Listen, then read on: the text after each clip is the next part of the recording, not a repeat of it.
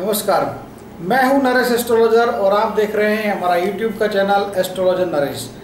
आज का वीडियो जो है वो मेष राशि के लिए है। 26 नवंबर 2013 से कन्या राशि में चलने वाले मंगल के बारे में है। मंगल कन्या राशि में चलेंगे 4 फरवरी 2014 तक। तो राशि चक्र की प्रथम राशि मेष के लिए ये कैसा फल देने वाले हैं इसके बारे में देखेंगे।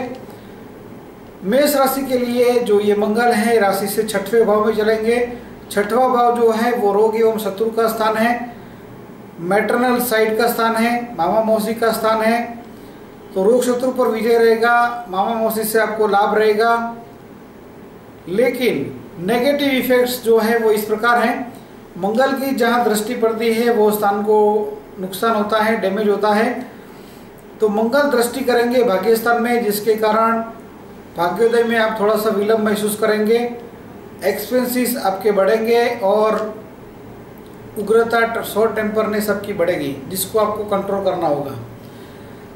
अशुभत्व के निवारण के लिए रोज गाय को गुड़ खिलाइए और मंत्र करिए ओम नमः शिवाय। ऐसे ही देखते रहिए नए नए प्रडिक्शंस सब्सक्राइब करिए चैनल कमेंट्स करिए चैनल पर। थैंक्स फॉर वॉचिंग वीडियो यदि हमारा वीडियो पसंद आता है तो शेयर करिए अपने फ्रेंड्स के साथ। Good luck all the best